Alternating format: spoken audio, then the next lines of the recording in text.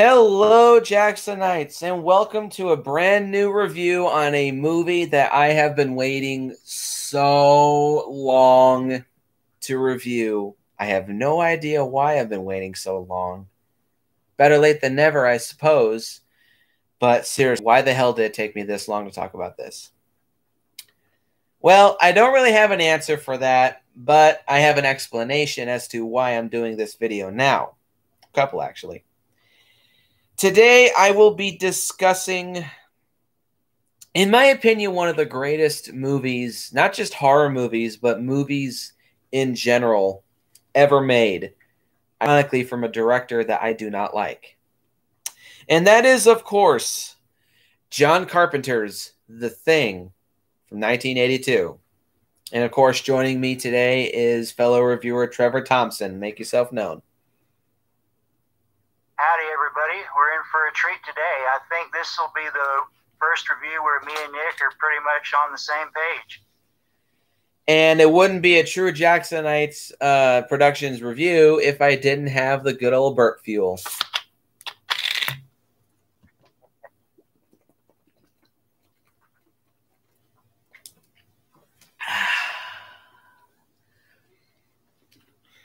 Uh. What you drinking Sam's Cola Zero. I work at Walmart. I'm not a sellout. so yes, John Carpenter's The Thing. Oh boy. Okay, so I've made it no secret on my channel that I am not a fan of John Carpenter. Uh, I don't think he's that good of a film director. I think he's one of the most overrated film directors. And arguably his most famous film, Halloween, is one of only four movies that I've ever reviewed on my channel that I've given a zero out of 10 to. And every other movie that I've seen has ranged from either okay to bleh. Um, I've seen They Live, there's elements of that that I kind of like, but I ultimately think it's just massive style over substance type stuff. Uh, Christine is a decent movie, but it's not a good adaptation of Stephen King's book. Ghosts of Mars is pretty much a Doom movie without being a Doom movie. Vampires, I thought was generic as fuck with a generic ass title. And there's one other movie that I've seen. Oh, and The Fog. Eh, I, I didn't dig it. I'm just not a fan of John Carpenter. Um, I I kind of feel like he might be like an old eight. Ironically, because he's friends with this guy, he's like a 70s and 80s version of Rob Zombie. There's a lot of things that Rob Zombie does right, and there's a lot of things he does wrong. Now, I don't know about Trev. What do you think of John Carpenter? Well, I'm going to have to say that I'm the good cop in this situation because I have liked or even loved most of what I've seen from John.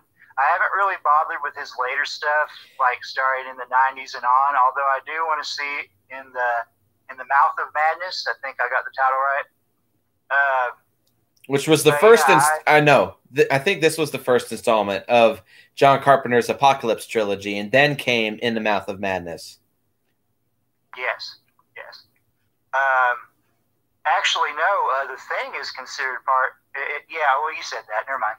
Um, but yeah, anyway, uh, yeah, I really dig most of Carpenter's output. I have heard that John Carpenter just kind of went off the deep end in the 90s or so, and a lot of his movies that he put out during that time were just kind of bad. Well, he got sick of the studios and them interfering with what he was trying to do, so at some point he just said fuck it and, you know, just made subpar material. Hmm. Continue. At least that's the story going around out there. Continue. Oh, but no, uh, you're not gonna like this, but I think along with uh, Halloween and the Fog, in my opinion, that those are probably his three favorite movies of mine. And after that, I find the others uh, that I've seen, which is pretty much his output through the 80s, uh, enjoyable. Mm. So, yeah, it looks like I'm the bad cop in this situation. Yeah, I'm. Sorry, man. I just don't. I don't dig John Carpenter. I respect the man because of his passion for film, and I will give him credit that he is a very good music composer. I will give him all the credit in the world for that. Um, though I'm glad he didn't score this movie because I just don't think it, it would have worked nearly as well if he scored this movie. He would have tried, but Ennio Morricone's theme for this movie is just too iconic to replace it with anything else. It's like it's like Godzilla cannot be scored. Classic Godzilla cannot be scored by anyone other than Akira Ifukube. Um. So yeah, I'm just I don't dig John Carpenter, but damn. I'll I'll eat my words and say that John Carpenter made my all-time favorite horror movie. Because yeah, The Thing is my all-time favorite horror movie. I think I've said that before, but I'm just going to reiterate it here. Um, I think this is the greatest horror movie ever made on both a technical scale and also an objective scale and also a personal scale. I think it's one of the greatest movies of all time. Certainly, okay. I am not going to call this a remake. I'm not. I am aware, Trevor is as well, uh, of the original 1951 The Thing from Another World. I considered reviewing that for this series, but ultimately I decided not to because A, I don't really want to. B, I'm not a huge fan of that film. And also, C, it's really not that good of an adaptation of the original story. I'll get to that in just a minute. But I'm not going to call this a remake. Though, I guess you could say if you wanted to, this is easily one of the top five greatest remakes ever made. Now, I said story. The Thing is an adaptation of a 1938 short novella titled Who Goes There? Written by John W. Campbell Jr. Now, before we did this review, me and Trev, I had Trev listen to it. Uh, we both listened to the original short story. Uh, it is on YouTube in 12 parts. It's maybe like two and a half hours long. So it's a pretty easy sit. Um, I do want to briefly talk about uh, the short story. Trev, what do you think of the short story? I actually really liked it, and uh, who who was the person narrating it? The one they have on YouTube? Edward E. French. Yeah, I really liked. Uh, he had a Vincent Price vibe going on. I think whenever I get a chance, I'm going to download all these parts and uh, put them in a file on my laptop so I can listen to it whenever. Probably good. It was it was a good listen. Uh, it's a lot like the the movie. He took lots of inspiration from it but of course, it is different because it's set, it's set in the 30s too, isn't it? I believe so. It, it, it is very 1930s. We're not going to talk about the comparisons and differences, at least, at least not till later. But um, I also have, of course, read the story or listened to the story, I should say. Um, it is very good. I feel like it's a little bit ahead of ahead of its time because while it is very 1930s because there's no year given you could kind of say this could take place in any decade that you want relatively. Um, but i do feel it's a little bit ahead of its time while at the still at the same time being very 1930s um, it's good it's enjoyable it's tense um, it's riveting it's entertaining. My only issue with it is that why is it a short story but there's actually a little bit of kind of recently unknown information. So in 2018, now I give Acid Glow some credit for for giving me uh, the YouTuber Acid Glow um, giving me this information. It's been revealed that in 2018, it was discovered that Who Goes There is not the actual title and is not the complete form of the original story. The actual title of the story is called Frozen Hell. And also in 2018, there was a Kickstarter campaign started to somehow get the full story released. Now, I don't know if it was either unsuccessful or if it's just not complete yet. However, if the fact that there is another thing project on the way that is taking full inspiration from the full Frozen Hell story, maybe it has been completed and they're just waiting to release it for later reasons. I'm not sure, but um, maybe it's kind of like a phantasm type thing where you know you listen to it and it's good, but there's something feels missing. That explains why. It's because it's not the complete story. Now it doesn't like have phantasm syndrome where it feels like an incomplete film. It still naturally flows along as a cohesive story, but now that I know this information, it definitely does feel incomplete. And I think I might have just burst Trevor's bubble too. Oh no. I actually heard that they were going to factor some of this new information into the next movie they're going to try. I'm excited for it because apparently Carpenter is involved and it's still a Universal slash Blumhouse production. So I'm good. I'm game. Just don't make it like the 2019 Black Christmas, please. Yeah, they have a pretty good track record overall, and I'm really hoping they really do something new with the concept while still being familiar, which is always a hard thing to find, but you know, they should try it. Mm-hmm. Agreed. So, uh, yes, the 82 thing is a, I'm going to call it a readaptation, not a remake. It's a readaptation of the original story. I'm not calling it a remake of the 1951 The Thing. Um, partially because a the films are so different both content wise and also quality wise and story wise. I would venture to say that 82 thing is maybe a 85 to 90% adaptation of the original short story. There's just minor things that are changed around, some numbers are reduced. The ending is a little bit different, and a couple scenes are shuffled around to uh, fit the, the story of the film a lot better than in the book. But for the most part, this is a very good adaptation of the original short story. And I give Carpenter all the credit in the world. Um, and also the writers, of course. But yeah, Carpenter managed to pull off a good movie in my eyes. So, oh, and Shawnee Boy is here. Also, sorry. Go ahead. It's also important to note, and you may you may or may not know this, Nick, but uh, Carpenter is a fan of the original '50s movie. He grew up on it. I do, and it does it does pop up on the TV in the original Halloween. Anybody out there who's trying to say that Carpenter was dropping hints for his future project, I don't believe that. I think that was just a coincidence. Uh, he was, yeah, he was just re- he was making a reference to a movie that he loved. And also, Shawnee Boy is here. All right.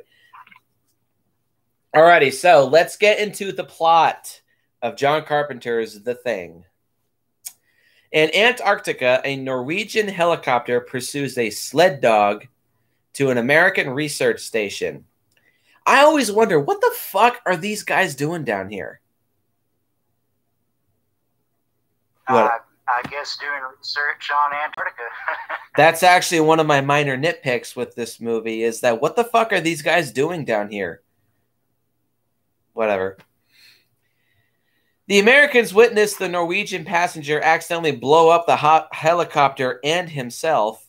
The Norwegian pilot fires a rifle and shouts at the Americans, but they cannot understand him, and he is shot dead in self defense by Station Commander Garry, played by Donald Moffat. Conveniently, they have the actor and role list right next to the plot.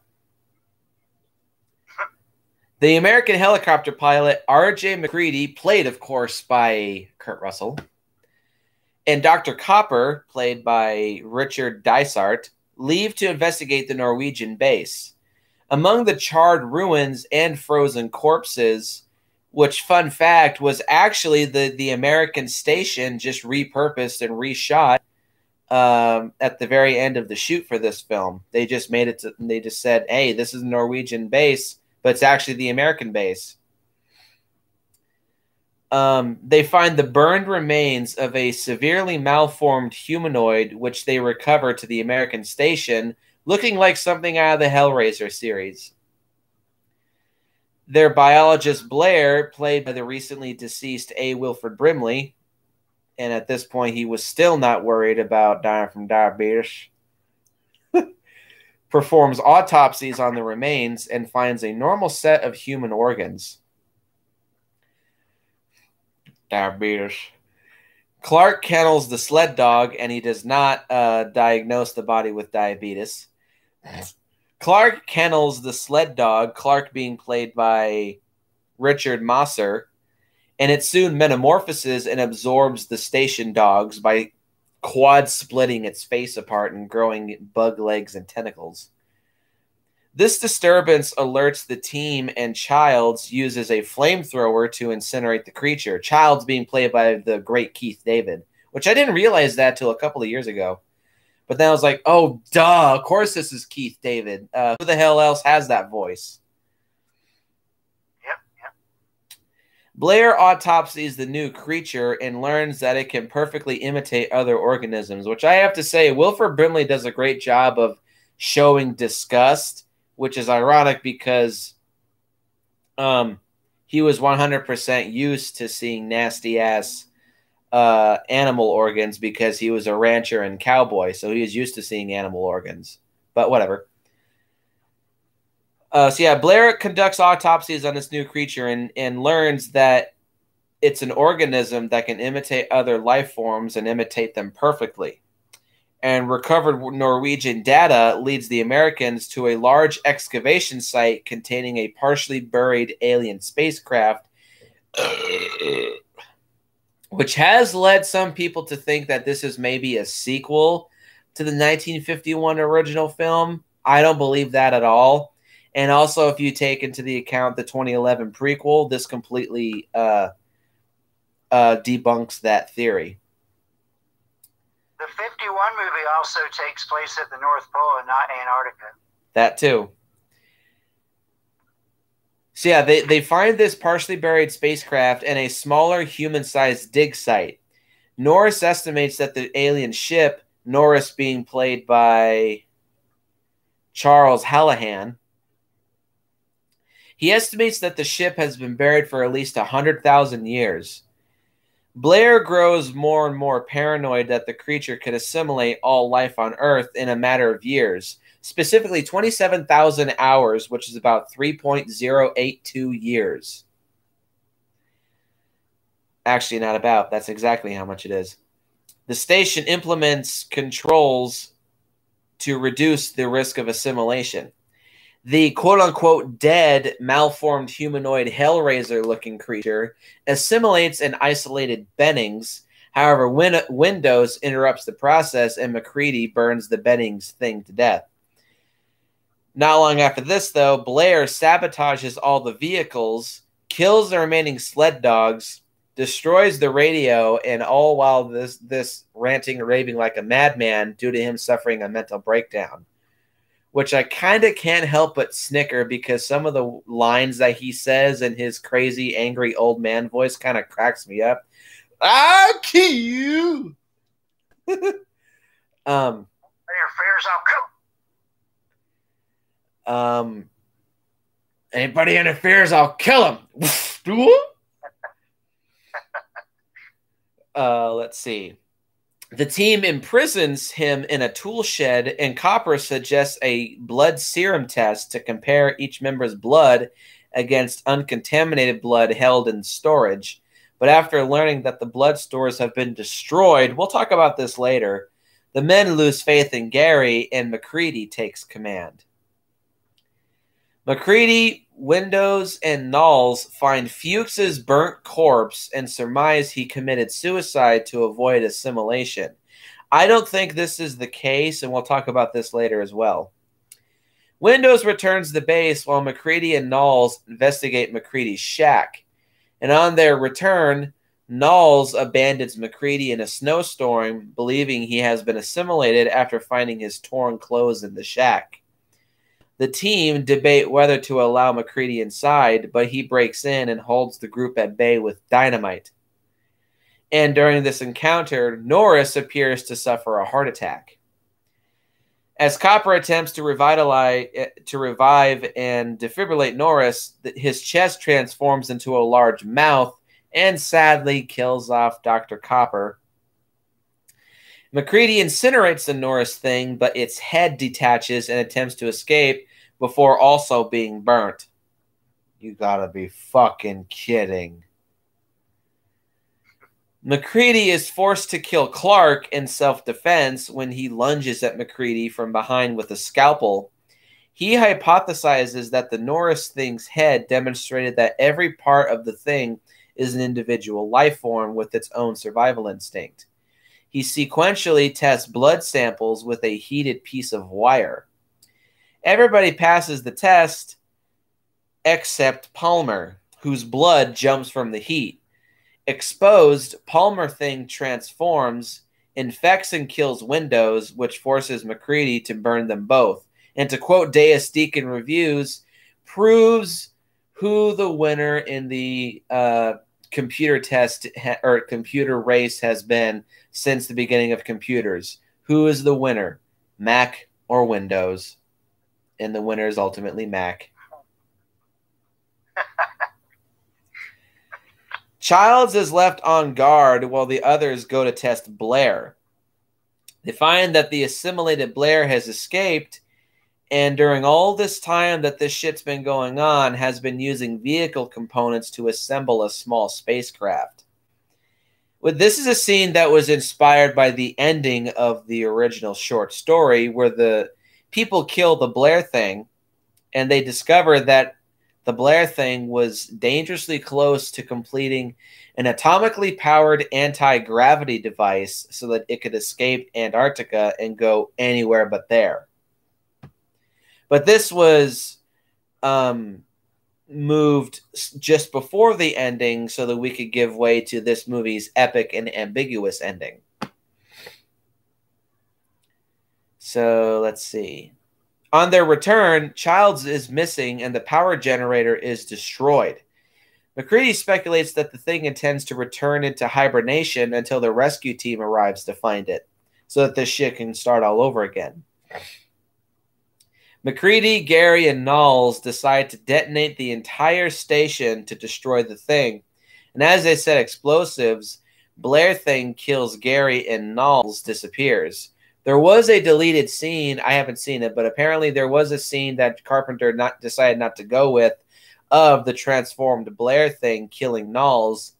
But he said that the stop motion animation that was used to convey the Blair thing looked too ridiculous. Kind of think he should have just stuck with it and let this let the movie carry on because as the movie currently stands, Nauls walks away and he's never seen again. Hi, honey.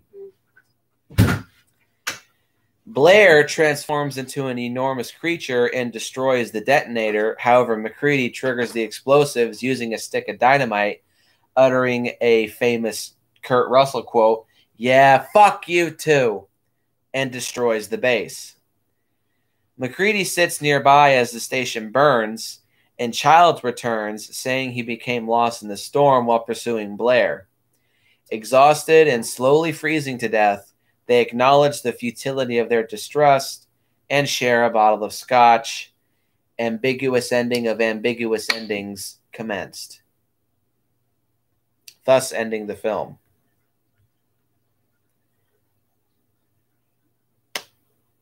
Trev, go ahead.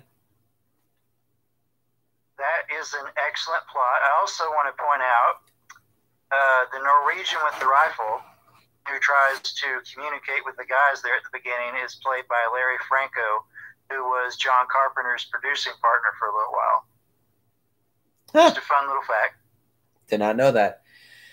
So what do I think? Uh, so, what do I think ahead. of this plot?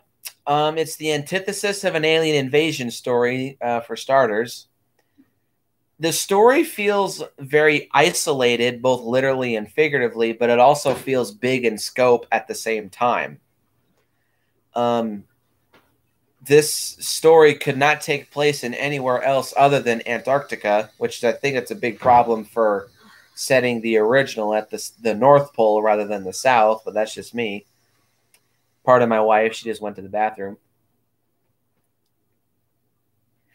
Um, I love this story. Um, it's the antithesis of an alien invasion. It's well thought out.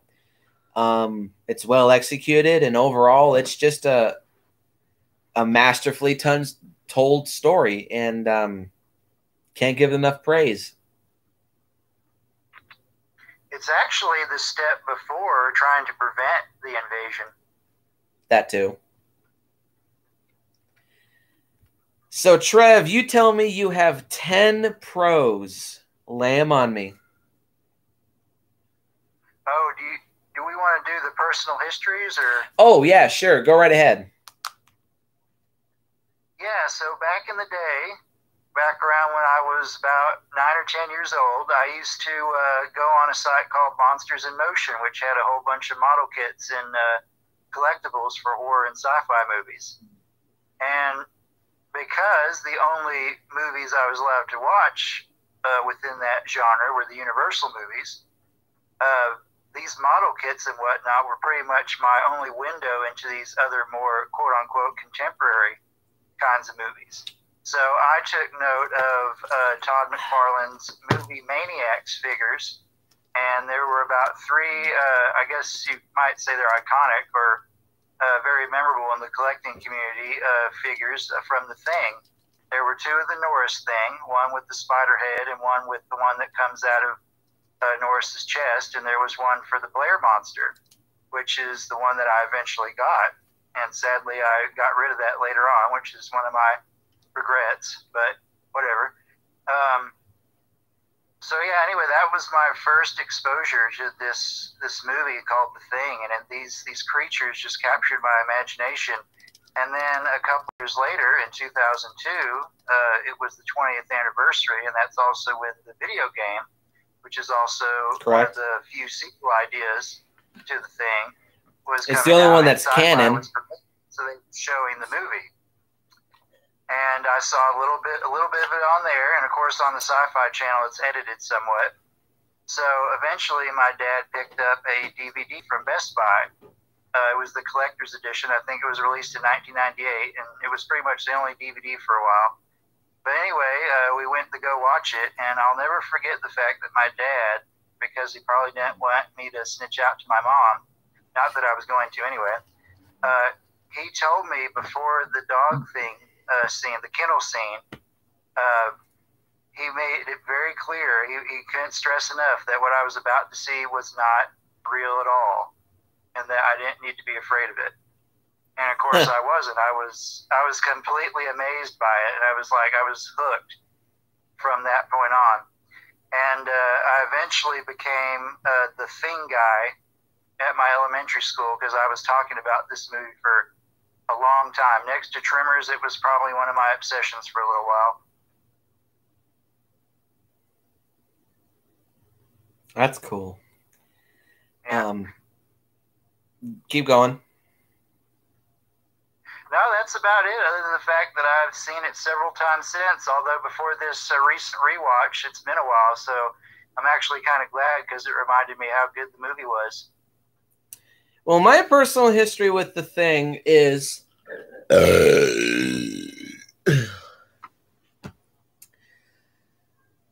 I first heard of this film through James Rolfe back in 2008 or 9, maybe 8.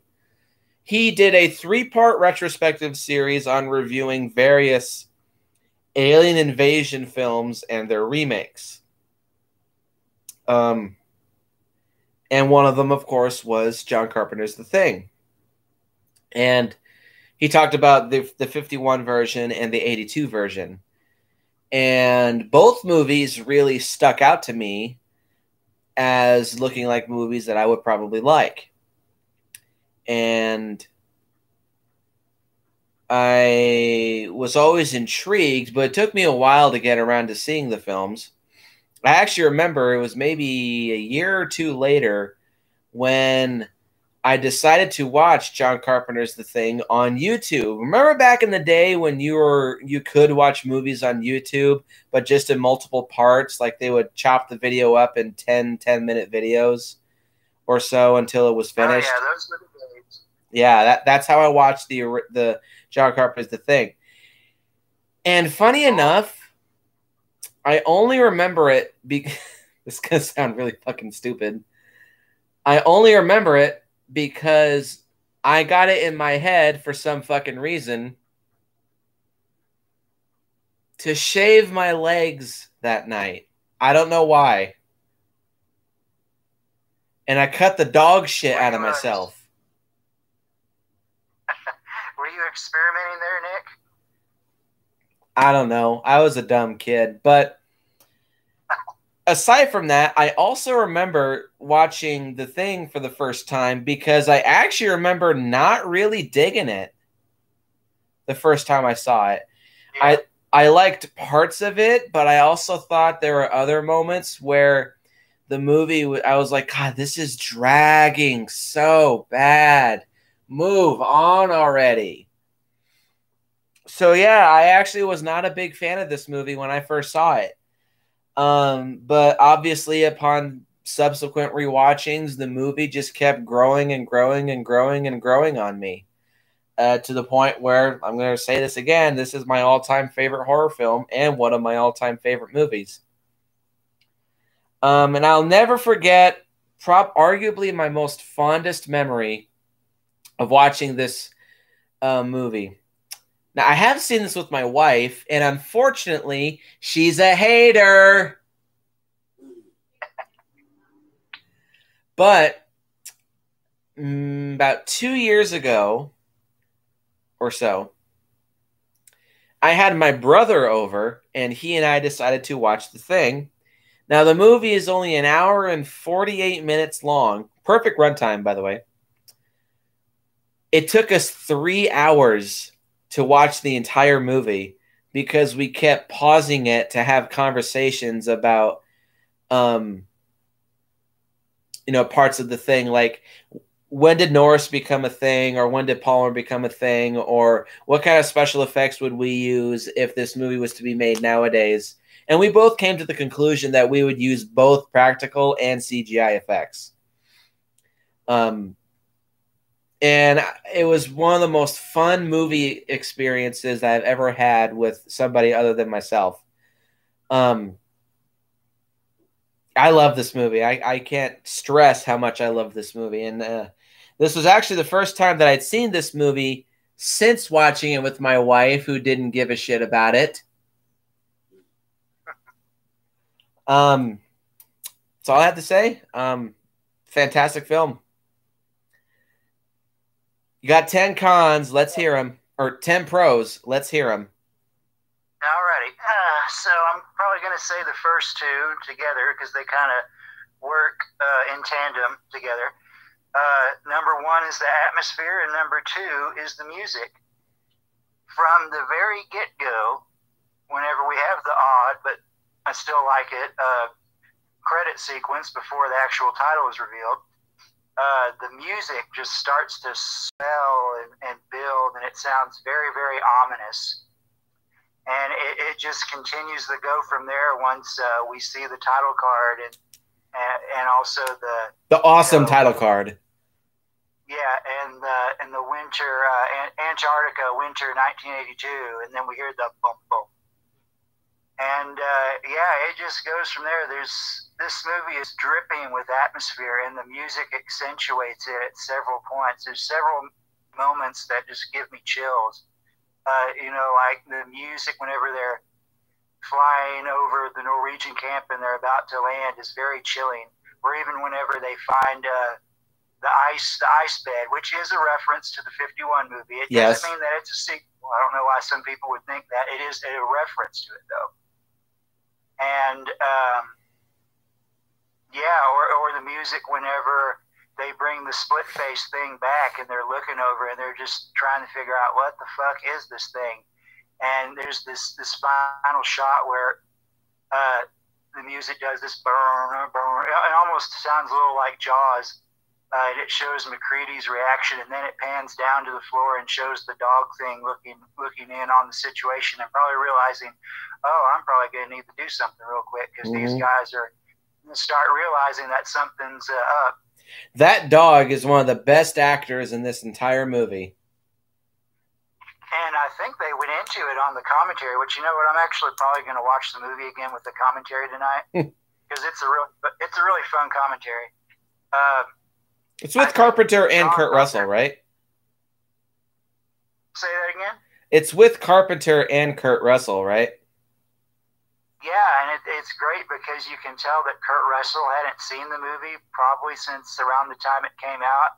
So he was having all these great, genuine reactions to everything. Yeah, he sounds like a real fun guy to watch a movie with. I'll just say that. Uh, but they they do go into I think what they had to do to get the dog to uh, act that way, or John does, I do believe. So yeah, the atmosphere and the music, uh, they work perfectly together. Without them, this movie would probably be lesser for it. Nah, just be kind of like a generic alien monster on the loose type movie without the atmosphere and music. And this movie is very similar to Alien. I would say that Alien is actually the movie that comes closest to being the same to it, but I say that the thing is probably a tad superior. Maybe but, uh, only in the sense where it's a group of people in an isolated location going up against an alien monster. But true, and actually, go ahead. I would like this is well, no, no. Alien is a haunted house movie in space, whereas The Thing is. I wouldn't say it's. Oh, wait, no, I know what it, it's kind of like.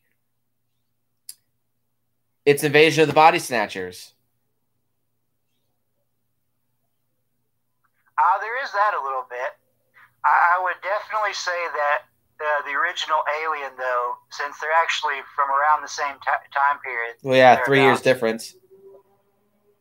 Yeah, they're pretty much a perfect double feature. That would be my personal recommendation for people: is this and the original Alien movie. But I, I can uh, see that. Moving yeah. right along. Uh, were you going to say something, Nick? Nope. Just move right along moving right along, the cast and characters. I think everybody in this movie is perfectly cast, mm-hmm. and I think something interesting about every single one of the characters, and it, it works to the effect that, uh, I mean, if they weren't any good, it would hurt the suspense and the investment in the situation that is occurring for these gentlemen.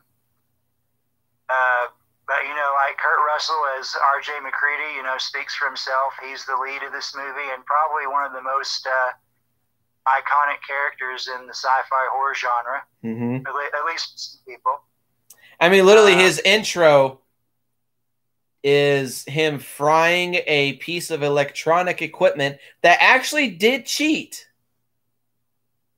by just dumping a load of whiskey into its circuitry and just going, cheating bitch. Which, fun fact, that computer was voiced by Adrienne Barbeau, Carpenter's then wife. For those of you who don't know, Adrienne Barbeau. Go ahead, Trev. No, no, you're you're t- you're saying it. Go ahead. Adrienne Barbeau was Carpenter's post Halloween relationship. I don't know how long they were married, but they were married for uh, a few years.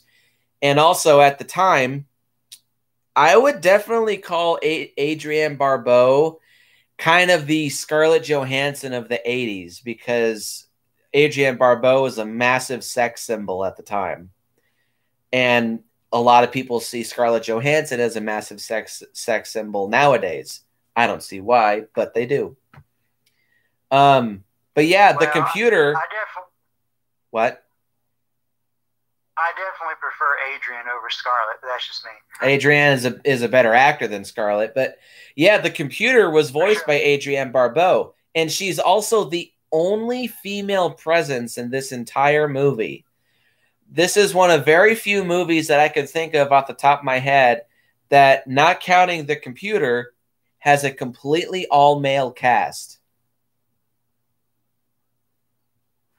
Have you ever heard the very outlandish theory that the thing is supposed to be a metaphor for uh, females? No, and I don't buy into it. That's bullshit. That yeah, those are some uh, some of the more odd ducks in this That corner. that is I feel like is just one of those theories about some butthurt SJWs trying to make a mountain out of a molehill or an anthill. Oh, for sure, I agree. So yeah, uh, you know, I, I don't even know really where to begin. I may, I mentioned MacReady, but I think everybody in this movie Cheating bitch. is great. What was that? Cheating bitch. Always cracks me up. Just the way he just casually dumps whiskey into the computer. He just walks away. Cheating bitch. Yep, it's not like he's ever going to play that again. Nope. so uh, yeah, moving right along. Uh, number four is the special effects. Oh my These god. Probably, probably hands down some of the most iconic effects from the 80s. It, probably the only thing that rivals it, maybe. The fly. Uh, the Fly, uh, The blob. maybe the transmission from American Werewolf a little bit. Oh, yeah, that too. Uh, but yeah, there's just so many great creatures in this movie, and there's at least one effect which is entirely convincing as real. It's whenever the Norris thing's head uh, splits off and tries to get away. Uh, until it grows legs and everything, it actually looks like uh, the actor's head. Which, fun fact, that was actually a reshoot because Rob Bottin, the man who did the special effects, who I believe also worked on. Was it Robocop? Yeah, it was Robocop. He designed the Robocop suit. They had to redo that scene because all that green and yellow fluid that's splurting out all over the place. Originally, that was made out of highly flammable chemicals and it caught fire from MacReady's flamethrower, and everything just lit up in flames. So they had to redo that scene. Indeed, Rob also did uh, the year before this the effects for The Howling, and if, if you've ever looked up that transformation I have. scene with uh, Eddie Quist, it does look very similar, probably to the uh, the Palmer thing in this movie. Uh, Rob also did uh, the design for uh, Darkness and Legend, and I think one of the last. Don't tell movies he had Jackie Boy that because he loves that movie. Oh yeah, Jackie Boy. Yeah, I, I watched his review. I kind of like it myself.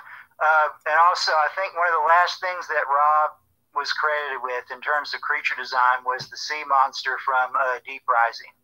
So I don't think he had like a long list of credits, but uh, He's at least some of his consistently good. Are very memorable. Yes. Uh, Um. and Nick also, go ahead. Oh, I was gonna say something about. Oh fuck! What was I gonna say? God damn it! Go ahead. I'll try to remember it. Mentioned something about how uh, the Fate of Nauls was supposed to feature uh, some of the stop motion Blair Monster on the. I don't know if there's been a newer release that features more of that footage, but there is uh, stop motion footage. There Very little. footage. There's very little stop motion used in this movie. Very, very little. Yeah, but there is a deleted scene, which is on my uh, copy that I watched, which uh, shows a little bit more stop motion whenever the Blair thing attacks uh, MacReady. It comes out of the floor, and they have a pan up shot showing it turn around to look at him. And there's also, uh, right before he throws the dynamite at it, it shows the, the blue dog thing in the Blair monster, or Blair thing's chest uh, coming down and trying to come after him.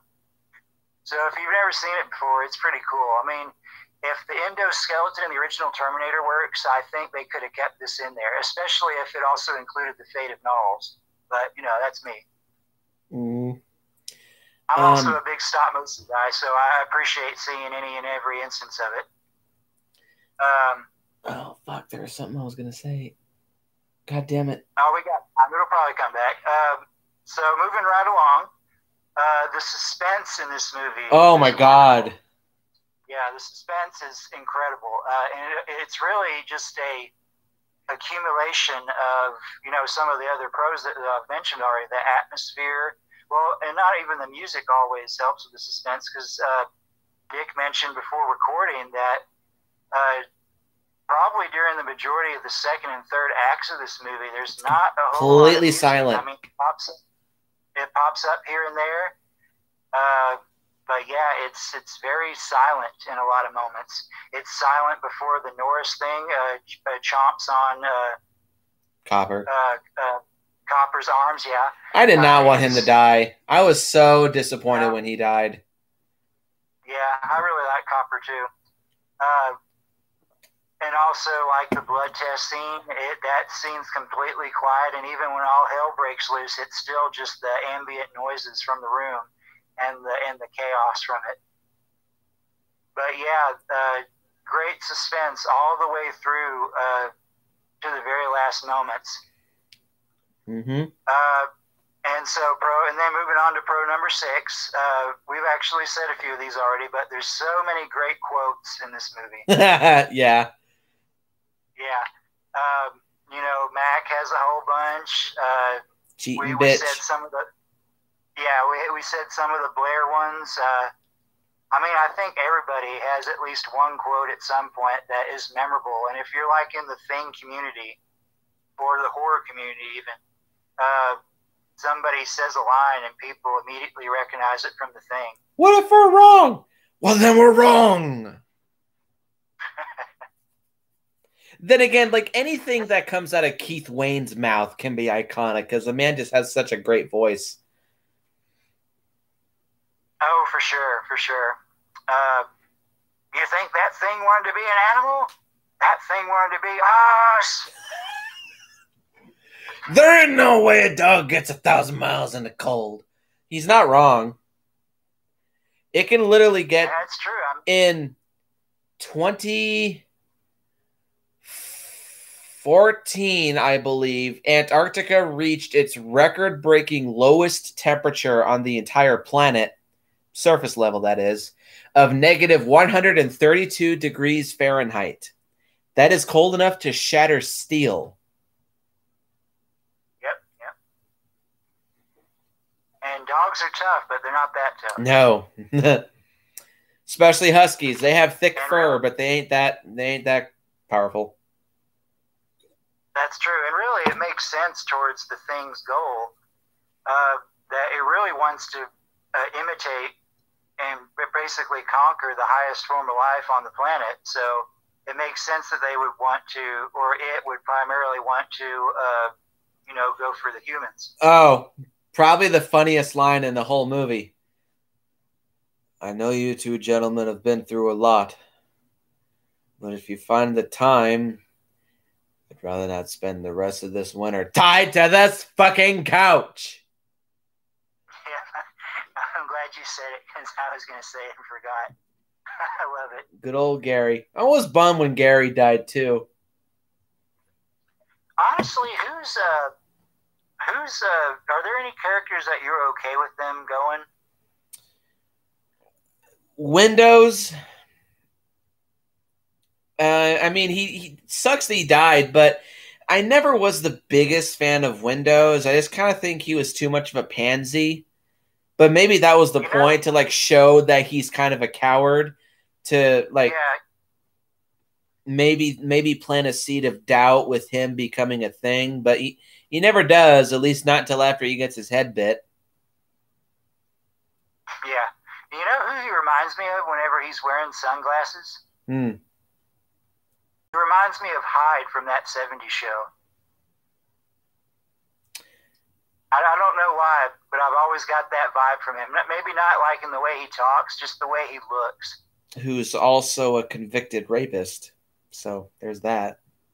Yes, as we found out, unfortunately. Um, I only found Like that out because my wife is a huge fan of that 70s show, and she was like, Hey, you remember Hyde from that 70s show? Who is he again? The pothead with the sunglasses. Oh, uh huh. He's a rapist. What?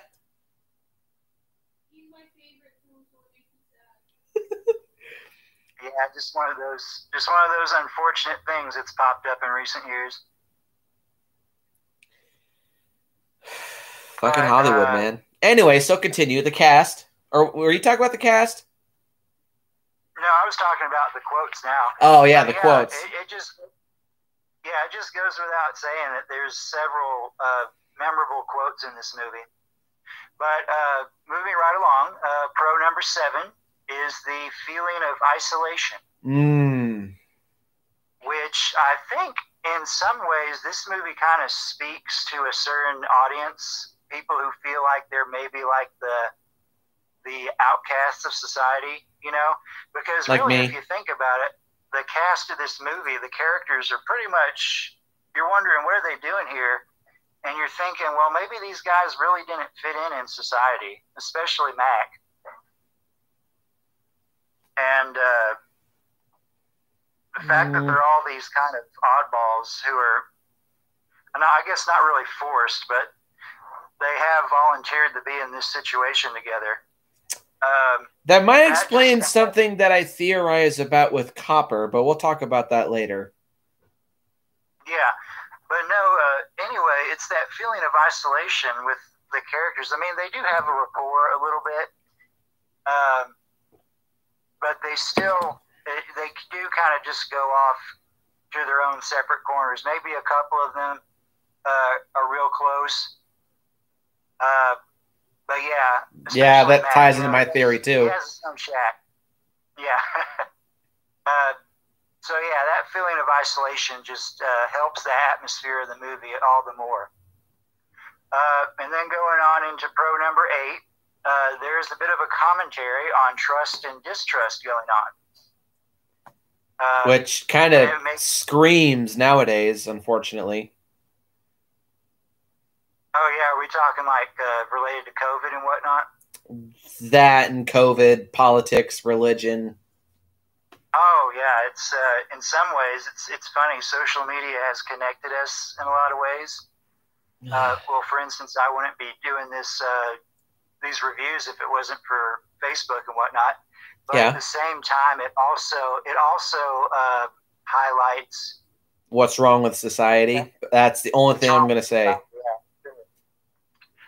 And, uh, you know, it's a nice, sweet little line that uh, Mac has whenever he's talking to Blair, whether you're religious or not.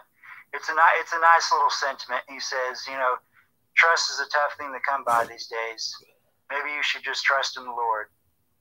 You know, and I, that just that just kind of endears uh, Mac to the audience even more, I think. It also makes you feel bad for Blair. Yeah, despite the fact he's giving him a total dope filled shit eating grin while he's saying that. Yeah, and like a dead, I guess, deadpan stare whenever he says to watch Clark and watch him close. Do you hear me? You can kind of hear the morphine already starting to kick in. He's like, watch Clark, and you watch him close. You hear me? Yeah. yeah. So, uh, yeah, I don't know how cynical John Carpenter was by this point. I don't know. This might have actually been the beginning of his uh, shitty relationship with studios, considering this movie didn't do all that well. That's uh, thanks to E.T. Um, yeah, um, I didn't really want to get into this, but I will. I will give brief mention to this. I, I don't want to get into it that much. I just will say this movie was massively critically panned upon its release. Some people called this one of the worst movies ever made, to which I just think is ludicrous. But it did come out. Was it before or after E.T.? It came out the same summer. I don't know. I think it was after, but they were pretty much both in June 1982. E.T. and The Thing were very close it, it, ironically, they're also uni- both Universal movies. E.T. and The Thing were very close, closely released in 1982. And also the year after this, we would have Return of the Jedi. So at the time, everybody, when they wanted sci fi, they wanted something uplifting and epic. They didn't want the brooding, depressing, gory alien invasion movie that is the thing. Um, so yeah, this movie was massively panned. It was pretty successful. It made 19 million dollars against a shockingly 15 million dollar budget. Like wow. Wow. This movie only cost 15 million dollars. Well, the... I think it's safe to say uh, two things. Uh, this movie was ahead of its time. Very. And it's also yeah, it's also not really blockbuster material. I mean, not everybody's gonna not everybody's gonna like take their kids to go see this. It's it's it's aimed at a very specific audience. Yeah, that's true. And now, of course, nowadays it's kind of been like The Shining. I still think Shining is a bad movie, but when The Shining was first released, it got really bad reviews. But later down the line, it was rediscovered, and I guess everybody just decided that it's a classic. But deservingly with this film in uh, years down the line everybody rediscovered this film and everybody said oh this actually is a good movie. What the fuck were we saying back in 1982 well again it's just the fact that some movies some uh, people come up with a story and the way they execute it is just so beyond what people are comfortable with and what they're used to that whenever it comes out, it's like, oh, this is like the worst thing ever. But then you give it time and it eventually finds its audience. And I dare I say, there really isn't many people, you know, who have seen the movie and like it who say anything bad about it. Except my wife. Well, and there again, you know, it's not it's not a movie for everybody. It's a movie for a very specific uh, audience. Well, she also likes the Ryan Reynolds Green Lantern movie. Well, I do too, so I will be her, Fuck! her ally. it's uh, bad. Well, I mean, well, we might get into that whenever you do your superhero binge. But... that's not going to be for a long time. Foreshadowing yeah. is obvious. Foreshadowing. Uh, so one more note on the commentary on trust and distrust. I don't know if this is whenever it started for Carpenter, but from this point on, he was definitely a guy who uh, didn't have a lot of faith in humanity. Yeah, so, he's kind of like if oh, what the hell is that writer's name? Takeshi Kimura, if he was a director. Yeah, yeah. Uh, he wrote. Uh, a lot of the darker Toho movies. Yeah, he wrote or the Gargantuas and Matango. And Rodan too, actually. Rodan and Matango being his two best scripts, in my opinion. Yep, yep. Uh, oh, and speaking of Matango, just a little uh, side note: it's a movie that's very similar to the thing. But okay, so I'm just going to say my last two uh, real quick. Uh, number nine and ten. Uh, number nine is the feeling of paranoia. Oh yeah. Again, which again, that really just builds off of the isolation and the suspense and the atmosphere. I mean, this is definitely a movie that uh, reminds you how easy it is for people to start to distrust one another and how quickly they uh, might turn on each other which Nauls says at the very beginning. Um, well, no, it's not Nauls. It I think it was actually Fuchs.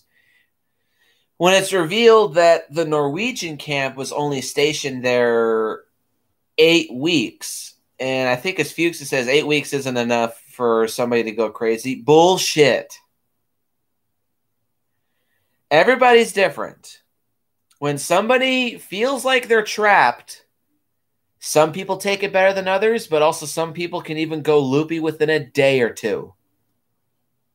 For sure. And also to kind of quote to co- sorry to kind of quote Nauls, says, "Bullshit, man. Look at Palmer. he's been wasting five minutes after staying here." yep, yep. I was just about to say, bullshit, Buana. That was Five it. minutes is enough to put a man down here. I mean, look at Palmer. He's he's been like that since the first day.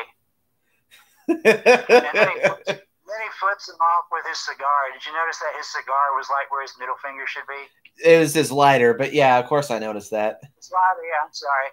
My copy isn't uh, super uh, HD or anything, so it always looked like a cigar or something to me. Um, but anyway, uh, yeah, and what factors into the paranoia, the suspense, the isolation is that I think uh, John Carpenter, this might be, even though I like most of his stuff, this might be his peak in terms Yeah. of uh, being director. And uh, that direction is just, I'd say it's masterful. Yeah. And uh, so, do you want me to wait? Because I don't think we have any cons. You want to just wait, or just wait till we get Let's to wait. Let's wait. Okay, so go into your pros. All right. I have one, two, three, four, five, six, seven, eight, nine, 10, 11, 12, 13 pros. I think that's the highest amount of pros I've ever had for any film I've reviewed thus far. I'd have to really go through my list and figure it out, but I think for the moment I'm going to say this is the record amount. Pro number one is the cast. We already talked about the cast, but I just want to say this is one of the most meticulously planned, um, greatest horror movie casts I have ever seen in my life. The cast is made up of pretty much a bunch of nobodies, except for Keith David, Wilford Brimley, and Kurt Russell. I have never seen any of these other characters in any other movie uh, that I've ever seen. Um, who's Fuchs? Yeah, Joel Polis.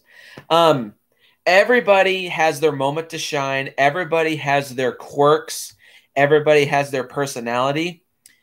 And um, what I love about this film, and this isn't in movies anymore, is there's a it's a small scene that establishes everybody's personality, quirks, and just what kind of person they are in just showing how they how they talk and how they interact with people. This isn't done anymore. This is straight up not done anymore in in Hollywood. Uh, yeah, I, I miss it too. Like it does feel a little bit reminiscent of Aliens, even though Aliens came out four years later. But that's the other thing that Aliens did is that it establishes their their personality and their quirks in just a, a, a small scene.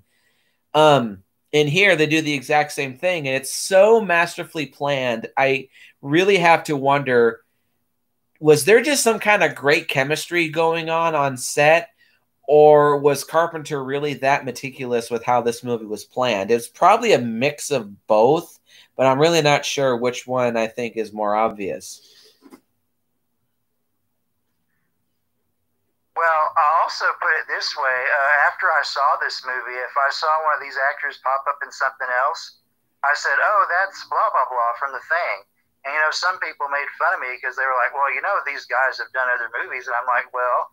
I remember them from the th- thing, so screw off. yeah.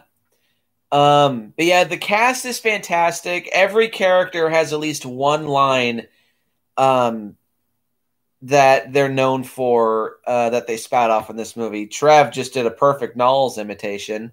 Palmer has his what he kind of can actually no, I know exactly what what Honey, are you okay?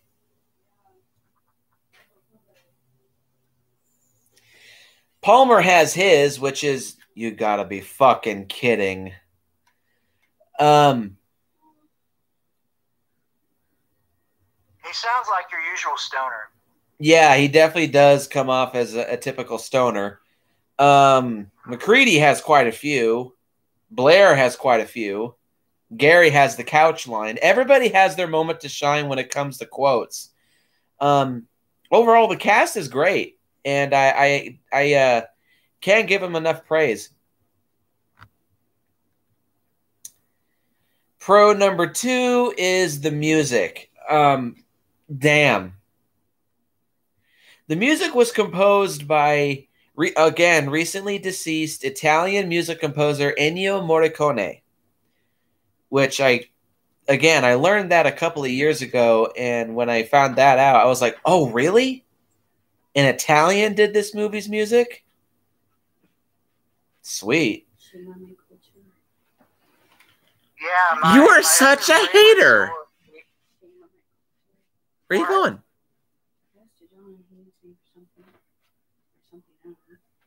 Whatever. All right, okay. Um, I I love. fell asleep on the pile of clothes.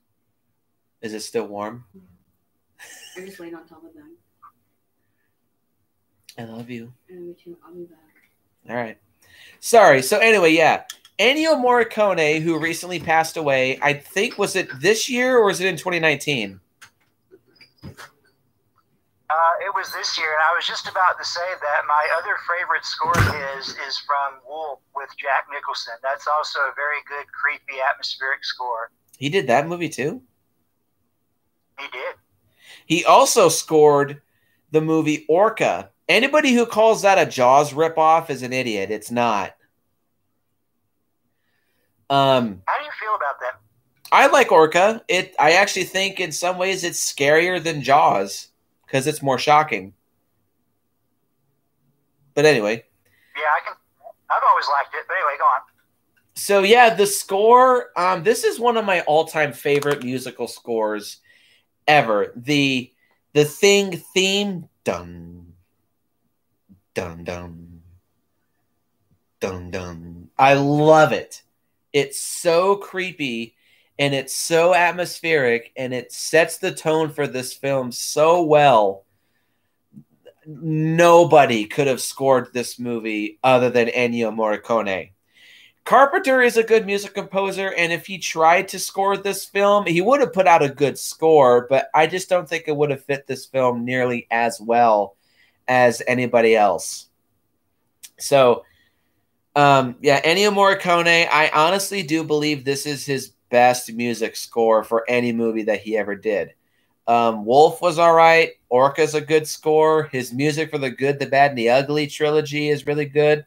But this is when Ennio Morricone reached his peak, in my opinion.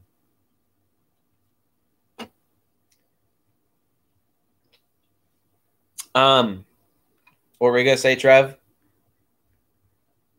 I was just saying. Yep, yep, I agree. Um, oop. Okay, so no, I have twelve. I have twelve pros because I put down one of them twice.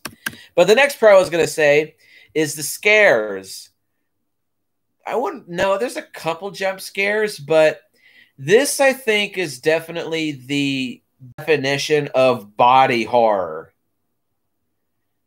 David Cronenberg is famous for doing body horror. And I will say that if anybody else was to direct this film, it definitely would be David Cronenberg.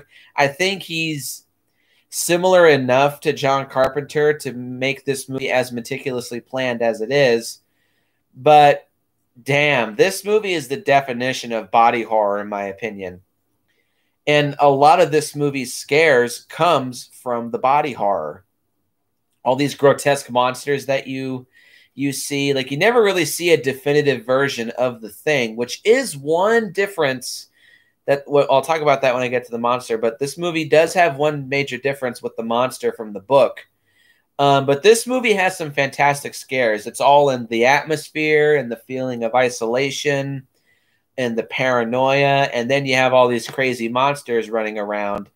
Uh, it's some scary shit, and there's a couple moments in this movie that do kind of get under my skin, no pun intended, uh, where I feel like I'm being watched. Actually, even last night when the movie was over, I was kind of feeling a little bit spooked out. I'm 23 years old, and the last movie to really get under my skin and scare me was the original Paranormal Activity, and I watched that when I was 19. Haven't watched a scary movie in four years, but a movie from almost 40 years ago is able to scare me a little bit at least. Props to you, man. That's lasting power. Yep. So yeah, this movie's got good scares. Pro number four is the tension. Okay. The tension, the atmosphere, and the sense of paranoia, I feel, can all be wrapped up into this. Okay. One of the biggest reasons why I am so picky with things that scare me and things that I like in horror movies is because, like, everybody says that the biggest reason why the original Halloween is so scary is because it's full of atmosphere. No. Well, I also don't find slasher villains scary because th- there's just the part of me saying, why don't you just fight back? Grab a weapon and fight back. But um pure atmosphere in a horror movie is not enough to scare me. The, and Halloween is nothing but atmosphere. You got to have a little something to have that atmosphere go with it, which is why I only say atmosphere should be used in a horror movie as a supplement, not as like the basket that you put all of your eggs in. If you try to put all your eggs in an atmosphere basket, for me, it just does not work. It does not work at all. No matter how hard you try, it doesn't work. It works in the original Exorcist as well, because not only does that film have atmosphere, it's also got shocking moments to make the atmosphere that much more intense. This movie is kind of similar. There's it's a perfect mix of tension, paranoia, atmosphere, and gore.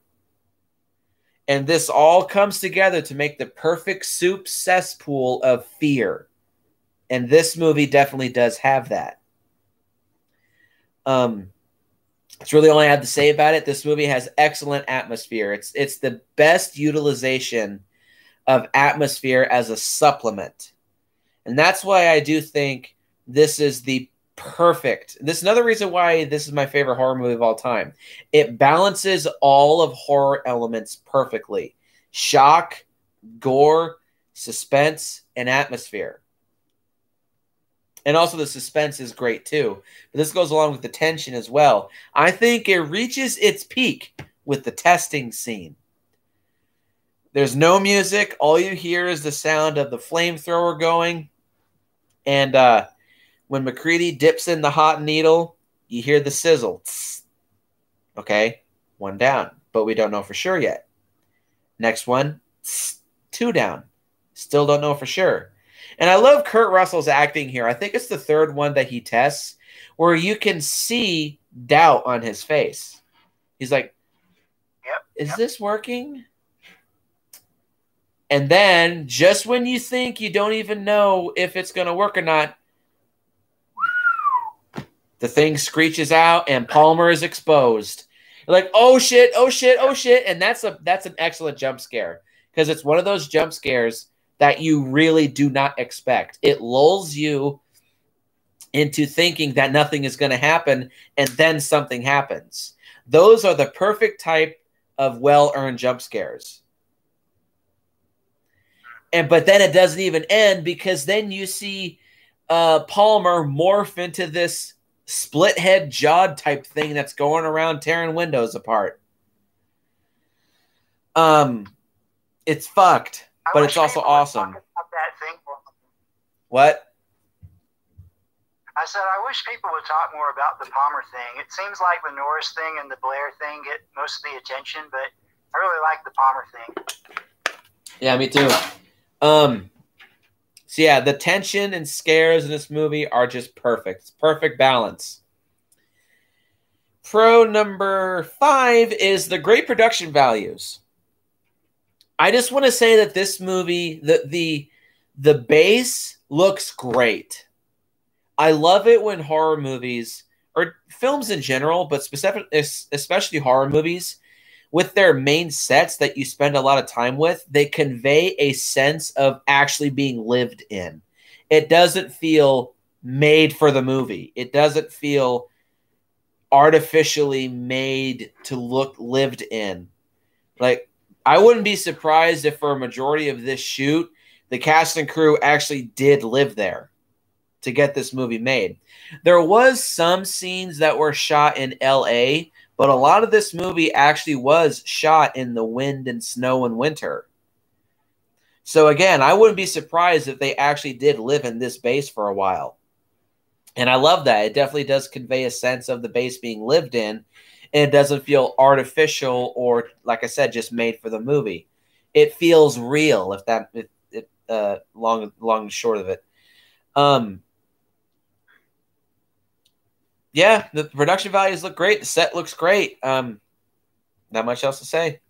Have you seen the uh, Terror Take Shape documentary?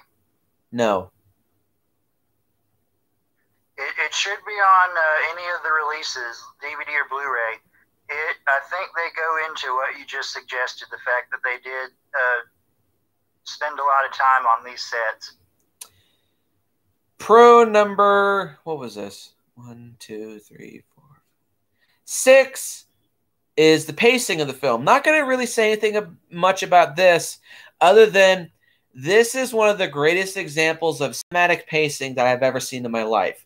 No scene drags, no scene is too quick. Everything feels perfect. It, it, it moves, it's slow when it needs to be, and it's quick and chaotic when it needs to be. Uh, it's perfectly paced. I I can't watch this movie like just from scene to scene. Whenever I start it, I just have to watch it all the way through. Um, and I'm never bored, and I'm never just like watching, looking at my watch or fidgeting in my seat. I'm just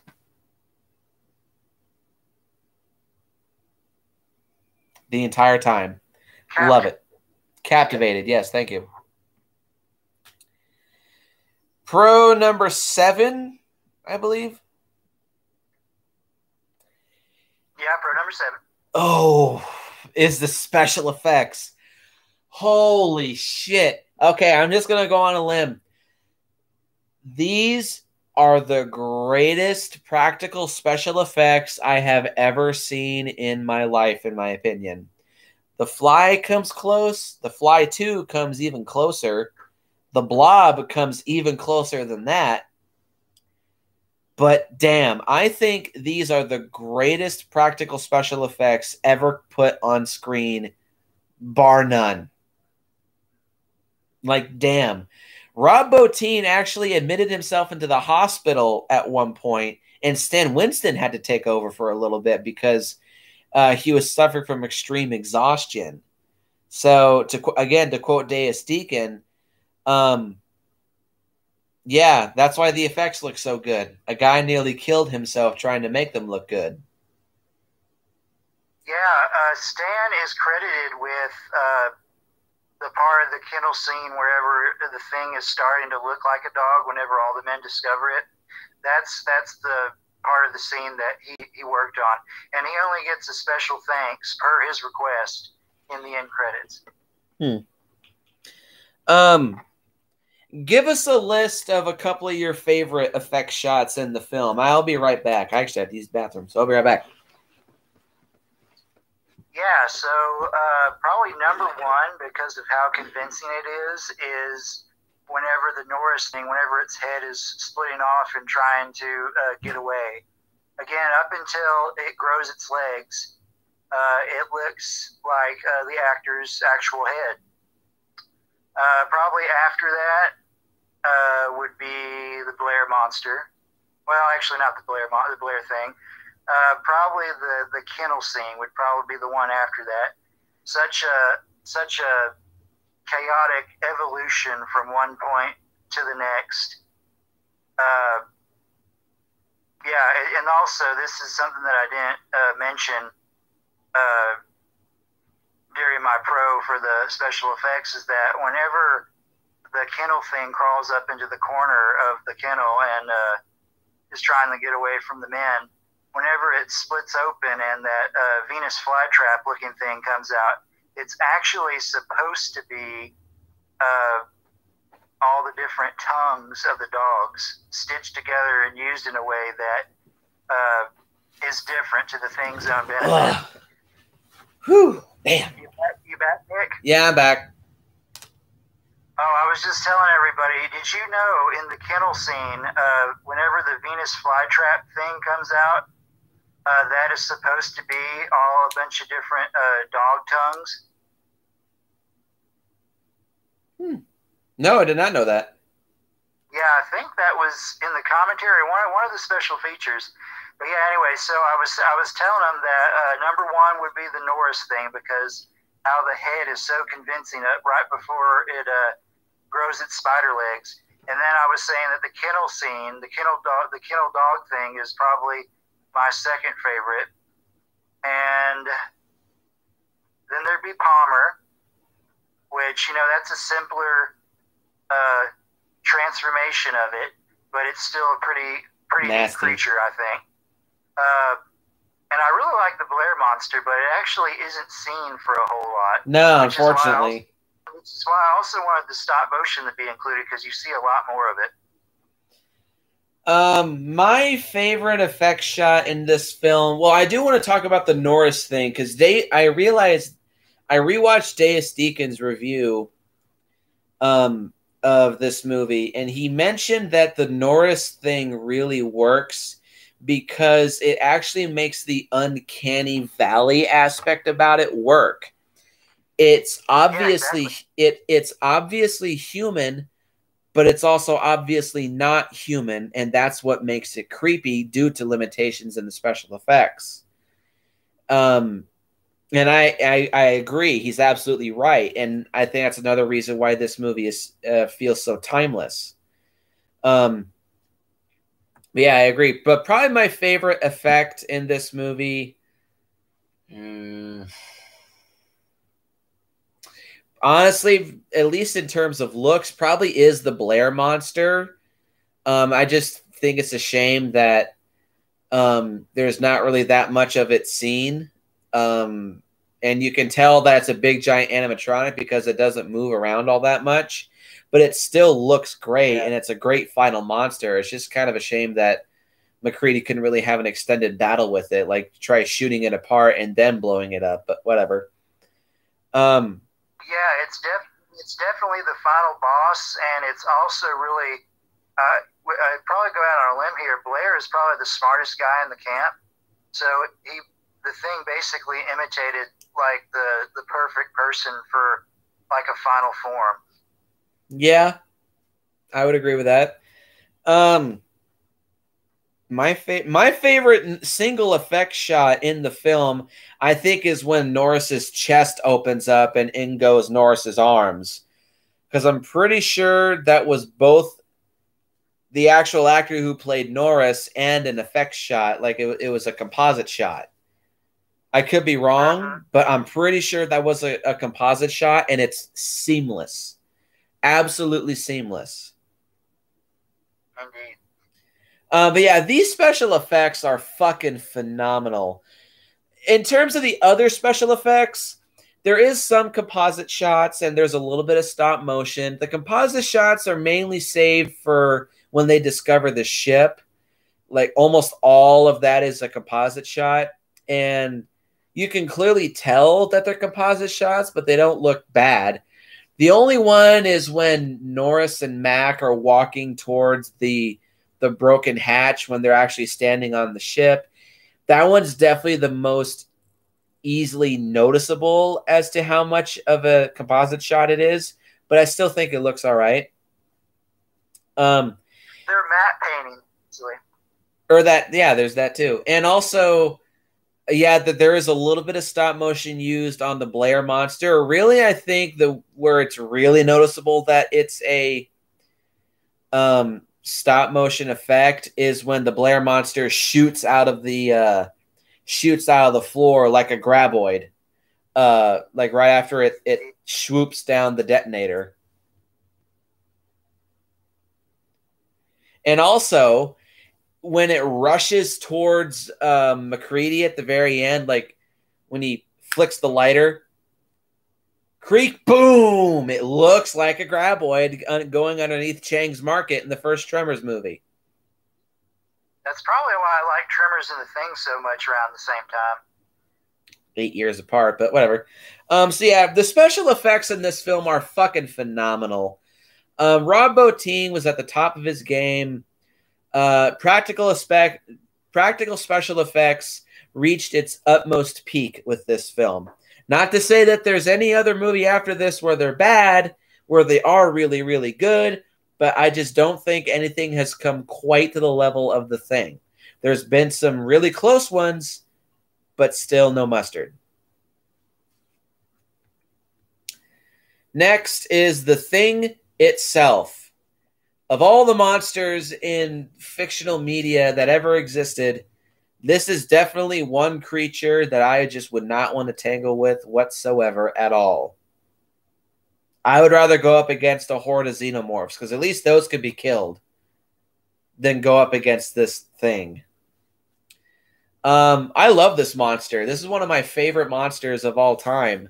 Um, which is ironic because in this movie it doesn't have a full form, yet it's easily recognizable as this amorphous, shape shifting, hostile monster parasite thing. In the book, however, this is one difference that this film has to the story is that um, I want to talk about the differences a little bit too. Um, there are a few, they're kind of minor, but they still do have to well obviously have to do with the monster. Um first off, it's theorized in the movie that the the thing crashed to earth uh, about 100,000 years ago. Whereas in the book, it said that it crashed to earth 20 million years ago. Still not a huge difference. 100,000 years is a long time as well, but it's not that much of a big deal. Um, there's a lot more characters in the book. There's 37 characters in the original book, whereas here there's only 12. Which is probably now I'll, I'll talk about that later. Um what's another one? Oh yeah, when it comes to the monster, there's two big differences. One is that in the book, the alien does have a true form.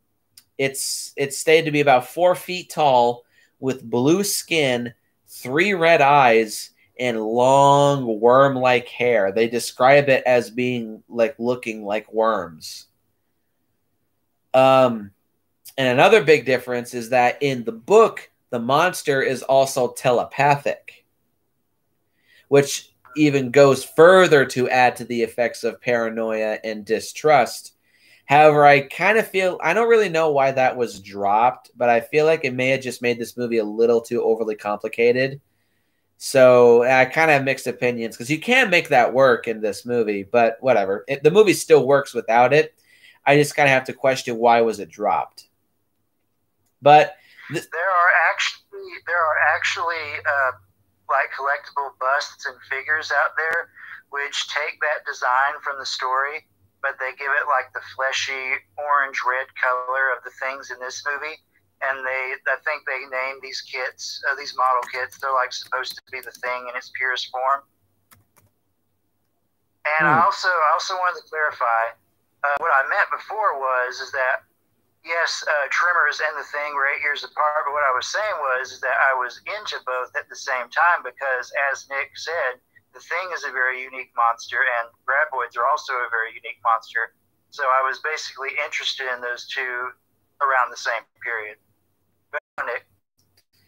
Um, hang on.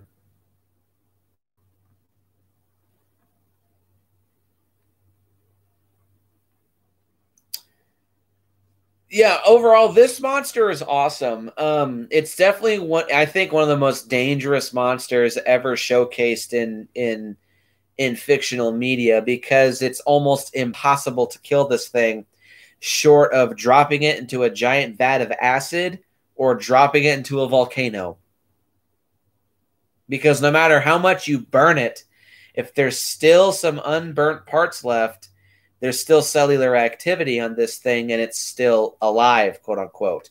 Though I do want to talk about the question of can a single cell infect you? We'll get to that a little later. But this monster is fucking awesome. And uh could not have asked for a, a better way to showcase how it's described as in the story than in in this film. This leads me to my next pro. This is an excellent adaptation of the story. Um, it like I said, it's almost ninety percent accurate to the story. Like I said, there's a couple things that are changed around. Some numbers are changed. There's a couple scenes shuffled around. But I have to say, this is one of the greatest adaptations of a book that that I've ever seen in my life. Uh, it's nobody really talks about that aspect in my uh, from what I've seen. They just say it's a great adaptation of the story, but I've never heard anybody like when they talk about a list of the greatest book to movie adaptations ever made. You never hear anybody talk about the thing. I think the thing is one of the top 10 greatest book to movie adaptations ever. Um, next pro is pro number 10. Uh, there's some great kills. Um, not much to say other than a lot of people die in this movie in very horrible ways. Windows gets his head chomped on. Um, the Palmer thing gets blown the fuck up by a piece of dynamite, which Kurt Russell's reaction to that explosion was genuine. He wasn't expecting it to be that big.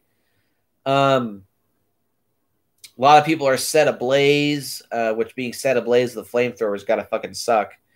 Um, Bennings is wrapped in tentacles and constricted and stabbed and prodded. Um, Garry gets his face like impaled with Blair's hands and torn off and absorbed. Um, people die in some pretty horrible ways in this film, and uh, it, it's it's gruesome as fuck, but it's it's also entertaining. I will say, I will say that the one scene that actually gets under my skin, because you know I've seen this so many times, the atmosphere is still it still gets to me, but not to a point where I'm like super disturbed. But there is one moment related to kills. It's after Windows gets chomped a bit, and you know MacReady uh, blows up the Palmer thing, and he comes back in, and Windows is sitting there in the corner, and he's making these noises like he's you know slowly being assimilated. Mm-hmm. That, that always did kind of get under my skin. Yeah, agreed. Um,